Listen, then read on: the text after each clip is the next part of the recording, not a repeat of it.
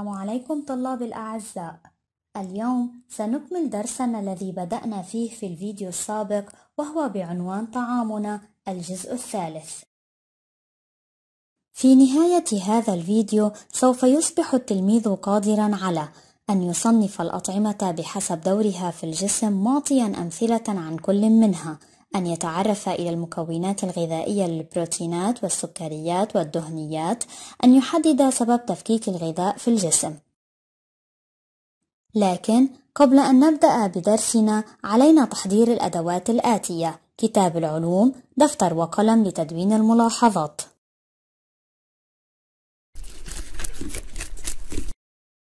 أروى. يا أروى.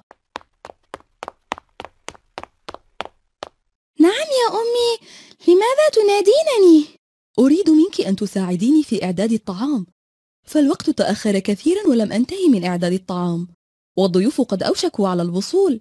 فالساعة الآن الواحدة والنصف وزمن وصولهم الثانية ظهرا. حسنا. ولكن ما كل هذه الأطعمة؟ إنها كثيرة جدا. ليست كثيرة يا ابنتي. لا بد أن نقدم للضيوف أطعمة ذات أصناف متنوعة.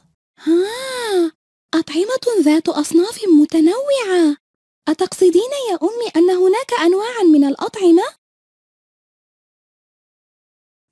تعرفنا في هذا الدرس على أن الأطعمة تحتوي على أنواع مختلفة من الغذاء فقد يحتوي نوع من الأطعمة على البروتينات أو الدهنيات أو السكريات أو الفيتامينات أو غيرها وقد يحتوي على أكثر من نوع من الغذاء ولكن هل يؤثر ذلك على استفادتنا من هذا الطعام؟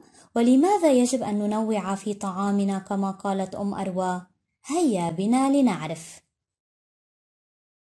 تصنف الأطعمة بحسب دورها في الجسم في ثلاث مجموعات المجموعة الأولى هي أطعمة النمو المجموعة الثانية هي أطعمة الطاقة المجموعة الثالثة هي الأطعمة الوظيفية لكن ما الفرق بين هذه المجموعات؟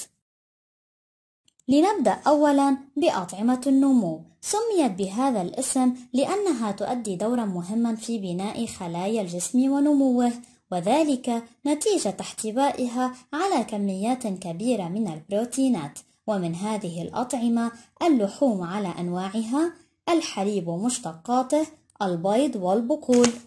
أما أطعمة الطاقة فقد سميت كذلك لأنها تمد الجسم بالطاقة التي يحتاجها وذلك بسبب احتوائها على كميات كبيرة من السكريات والدهنيات. ومن هذه الأطعمة الخبز العسل السكاكر الشوكولا الزيوت على أنواعها والسمن والزبدة.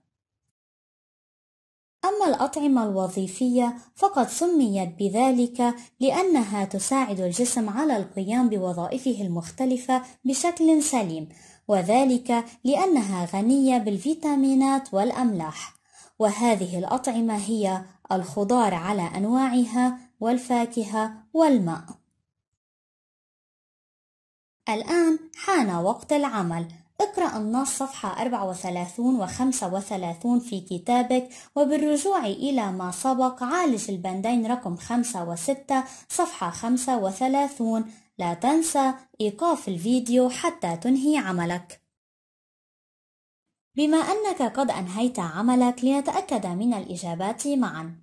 بالرجوع إلى النص السابق عالج البندين الآتيين. البند رقم 5 حدد المعيار الذي اعتمد عليه العلماء لتصنيف الطعام إلى ثلاث مجموعات. أحسنتم، المعيار هو الدور الذي يؤديه الطعام في الجسم. البند رقم 6 أكمل الجدول الآتي حول أنواع الأطعمة. نوع الأطعمة أطعمة النمو دورها بناء خلايا الجسم أو نمو الجسم. الغذاء الذي تحتوي عليه بكثرة البروتينات.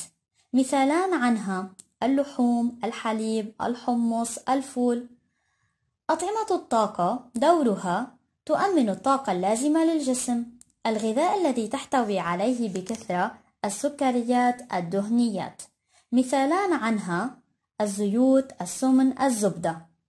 الأطعمة الوظيفية دورها تساعد الجسم على القيام بوظائفه بشكل سليم. الغذاء الذي تحتوي عليه بكثرة فيتامينات أملاح مثالان عنها الخضار الفاكهة الماء. أحسنتم إجاباتكم صحيحة. كما رأينا فأن لكل مجموعة من الأطعمة دورها في جسمنا لذا يجب أن ننوع في أطعمتنا. وتعلمنا سابقا أن الخلايا تحتاج إلى كل أنواع الغذاء الموجودة في الأطعمة لكي تبقى حية. لكن غالبية الغذاء الموجود في هذه الأطعمة معقد وكبير ولا يمكنه الدخول إلى الخلية عبر غشائها. لذلك لا بد من تفكيكه إلى غذاء بسيط وهذه هي وظيفة الجهاز الهضمي. فمثلا البروتينات تتفكك إلى غذاء بسيط يسمى الأحماض الأمينية. في حين تتفكك السكريات المعقدة مثل النشاء إلى سكريات بسيطة مثل الجلوكوز. أما الدهنيات فتتفكك لتعطي الأحماض الدهنية البسيطة. وهذا الغذاء البسيط قادر على المرور عبر غشاء الخلية للوصول إليها فتستعمله لتقوم بوظائفها وتبقى حية. وماذا عن تفكيك باقي أنواع الغذاء؟ إن غشاء الخلية يمرر الفيتامينات والأملاح والماء دون حاجة إلى تفكيكها لأنها بسيطة. الآن حان وقت العمل. اقرأ النص صفحة 36 في كتابك ثم عالج البندين رقم 7 و8 في الصفحة نفسها. لا تنسى إيقاف الفيديو حتى تنهي عملك.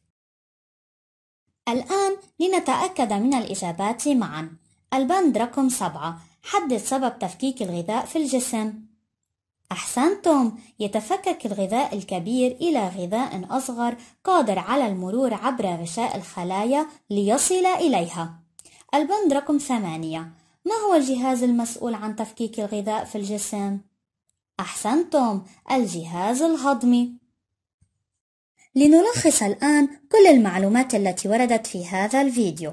تصنف الأطعمة بحسب دورها في الجسم في ثلاث مجموعات. المجموعة الأولى أطعمة النمو.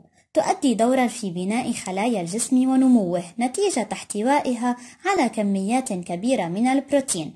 المجموعة الثانية أطعمة الطاقة. تمد الجسم بالطاقة التي يحتاجها نتيجة احتوائها على كميات كبيرة من السكريات والدهنيات المجموعة الثالثة الأطعمة الوظيفية تساعد الجسم على القيام بوظائفه المختلفة بشكل سليم نتيجة احتوائها على الأملاح والفيتامينات. تفكيك الغذاء تتفكك البروتينات إلى غذاء بسيط يسمى الأحماض الأمينية. تتفكك السكريات المعقدة مثل النشاء إلى سكريات بسيطة مثل الجلوكوز.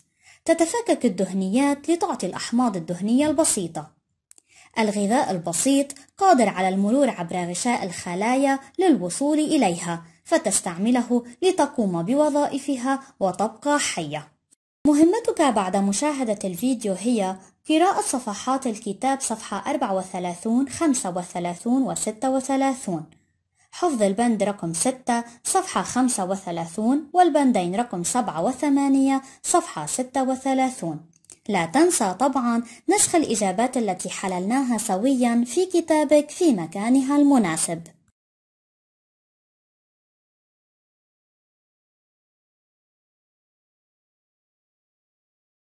وشكرا لحسن إصغائكم. دمتم برعاية الله.